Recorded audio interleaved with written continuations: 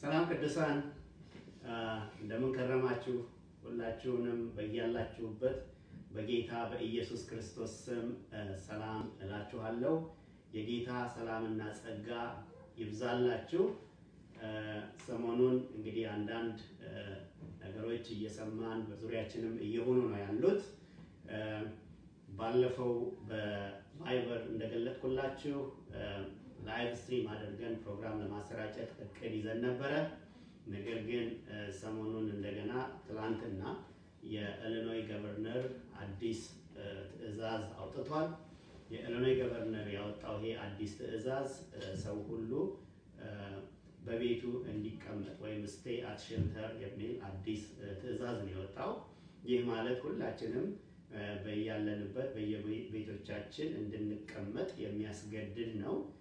አስፈላጊ ከሆኑ መንቀሳቀሶች ውጪ መንቀሳቀስን አይፈቅድም።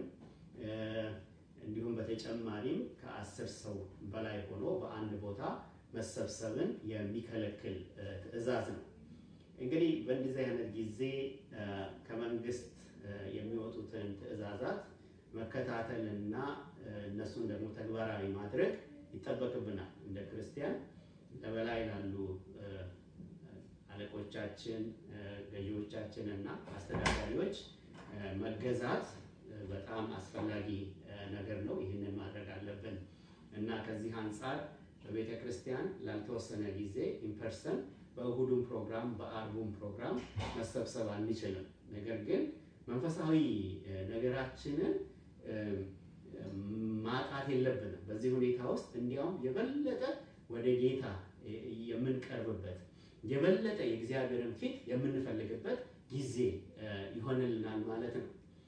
ይሄ ያልተለመደ ነገር አይደለም። ብዙ ጊዜ መከራ እንደዚህ አይነት ነገር ወደ ቤተ ክርስቲያን ሲመጣ ቤተ ክርስቲያን የበለጠ ትበረታለች። የበለጠ እንዲያውም ጠንክራ የበለጠ እንዲያውም ኃይሏ ከፍ ብሎ የምትገለጥበት ሁኔታ ነው ያለው።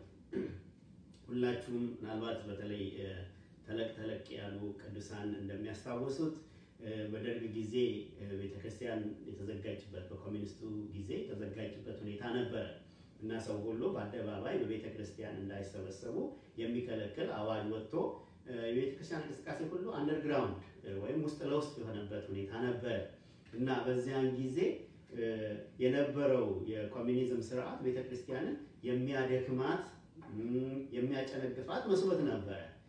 ወንድማችን ዘማሪ እንደዘመረው የእግዚአብሔር መንግስት ዘር ያችን ክፉ ኃይለኛው መጥቶ ረገጣት። ነገር ግን ይርገጣት እንጂ እሷ ማደጓን አላቆመችም። እንዲያውም በጣም አደገች፣ ተስፋፋች። እንዲያውም በዛ በዝጉ ጊዜ በአፈናው ጊዜ ቤተክርስቲያን ውስጥ ለውስጥ በጣም ተስፋፍታ ተንሰራፍታ ብዙ ምዕመናንን ወልዳ እንደገና ወደ በእኛ አቆጣጠር በሰማንያ ሶስት አካባቢ መንግስት እንደገና መሰብሰብን ሲፈቅድና ቤተክርስቲያን ስትገለጥ ስትወጣ የበለጠ ጠንክራ በጣም ሰፍታ ብዙ ቅርንጫፎችን አፍርታ ተገለጠች እና ምን ልላችሁ ነው?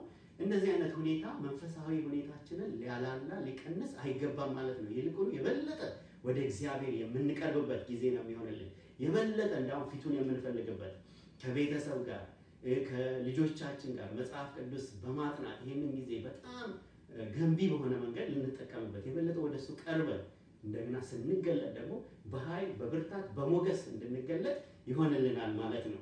ስለዚህ ተስፋ እንዳትቆርጡ ተስፋ እንዳትቆርጡ በምንም ሁኔታ ደግሞ በዚህ ጊዜ በተለይ ደግሞ እርስ በርስ እንድንተያይ እርስ በርስ መተያየታችንን እንዳንተው በጣም አጥብቀን እናሳስባለን። Bible study members እርስ በርስ እንድትጠያየቁ በ text በስልክ እንዴት ናችሁ? ምን አይነት ሁኔታ አለ? ኑሮህ እንዴት ነው? እየተባባለን እርስ በርስ encourage እንድንደራረግ አንዱ ሌላውን እንዲጠይቅ አንዱ ሌላውን uplift እንዲያደርግ በጣም አበክረን እናሳስባለን።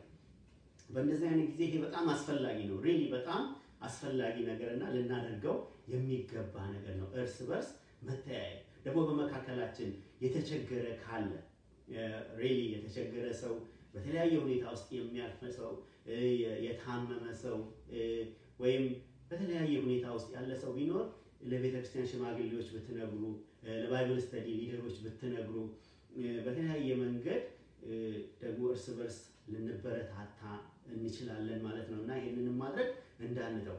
ወገኖች፣ ከሁሉ ነገር በላይ በዚህ ጊዜ ማድረግ ያለብን ነገር አለመፍራት፣ አለመናወጥ ነው ያለብን። አለመፍራት፣ አለመናወጥ አለብን። ጌታ የተመሰገነ ይሁን። ፍርሃት ለቅዱሳን የተሰጠ አይደለም። ፍርሃት ለቅዱሳን የተሰጠ አይደለም። የተሰጠን መንፈስ የፍርሃት መንፈስ አይደለም። መጽሐፍ ቅዱሳችን ላይ በሁለተኛ ጢሞቴዎስ በምዕራፍ አንድ ላይ በቁጥር ሰባት ላይ እንደሚናገረው እግዚአብሔር የሰጠን መንፈስ የኃይል መንፈስ፣ የፍቅር መንፈስ፣ ራስን የመግዛት መንፈስ እንጂ የፍርሃት መንፈስ አይደለም። የፍርሃት መንፈስ ጌታ አልሰጠንም። መፍራት ፈጽሞ አይገባንም። በዚህ ሲቹዌሽን መታወክና መደንገጥ ፈጽሞ አይገባንም። ምክንያቱም እኛን የሚጠብቅ እስራኤልን የሚጠብቅ ልጆቹን የሚጠብቅ ጌታ የሚተኛ የሚያንቀላፋ ጌታ አይደለም። ወገኖች አንድ ነገር እነግራችኋለሁ። እግዚአብሔር ሳይፈቅድ በእኛ ላይ የሚሆን አንዳች ነገር የለም። ከፀጉራችን እንኳን ከፀጉራችን አንዷ አትወድቅም አለ እግዚአብሔር ፍቃድ እና ህይወታችን በእግዚአብሔር እጅ ነው።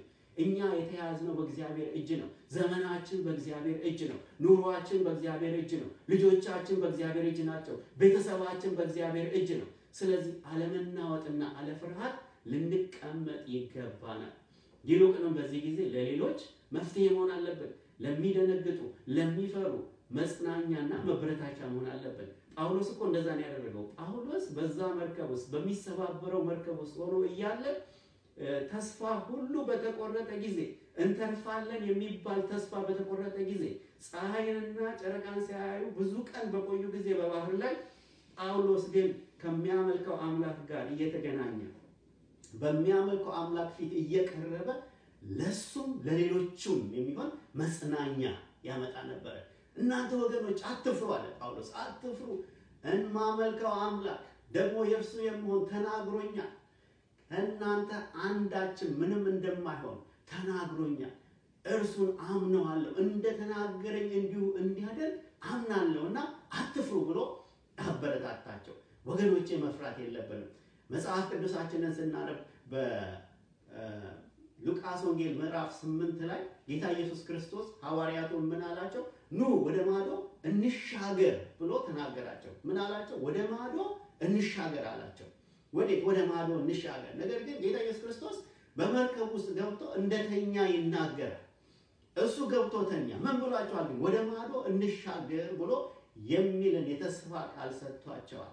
ነገር ግን ወደ ማዶ እንሻገር ብሏቸው እያለ እርሱም በዛው መርከብ ውስጥ እያለ መርከቢቱን የሚያናውጥ ኃይለኛ ማዕበል ሆነ ይላል። በመርከቢቱ ውስጥ ውሃ መግባት ጀመረ። ተስፋ እስቲቆርጡ ድረስ ጭንቀትና ፍርሃት ያዛቸው፣ መታወክ ያዛቸው። ወገኖቼ ሐዋርያቱ በዛን ጊዜ ለምንድን ነው የፈሩትና የተጨነቁት? በዛን ጊዜ ሐዋርያቱ የፈሩትና የተጨነቁት በሁለት ምክንያት ነው እንደሚመስለኝ። አንድም አብሯቸው ያለውን ጌታ የሰማይና የምድር ፈጣሪ እንደሆነ ማዕበሉንና ንፋሱን የሚገስጽ ጸጥም የሚያሰኝ ጌታ እንደሆነ አልተረዱም። የጌታን ኃይልና ብርታት አልተረዱም ነበረ። ከዚህም የተነሳ ፈሩ። ወገኖች የምናመልከው ጌታ ሰማዩንና ምድሩን የፈጠረ ጌታ የብርሃናትን አባት እናመልካለን። ወገኖቼ በእኛ ዘንድ ጨለማ የለም። ምክንያቱም የምናመልከው አምላክ የብርሃናት አምላክ ነው። የብርሃናት ጌታ ነው። በሱ ዘንድ ፈጽሞ ጨለማ የለም። ወገኖች የምናመልከው አምላክ በሌሊት መዝሙርን የሚሰጥ አምላክ ነው። በሌሊት መዝሙርን ይሰጣል። ሁኔታዎች አስጨናቂ በሚመስሉ ጊዜ መዝሙር ከአፋችን ሊወጣ ከአንደበታችን ሊወጣ ይገባል። ምስጋና ከአንደበታችን ሊወጣ ይገባል። በዚህ ጊዜ እንደዛ ነው መሆን ያለበት ቅዱሳን።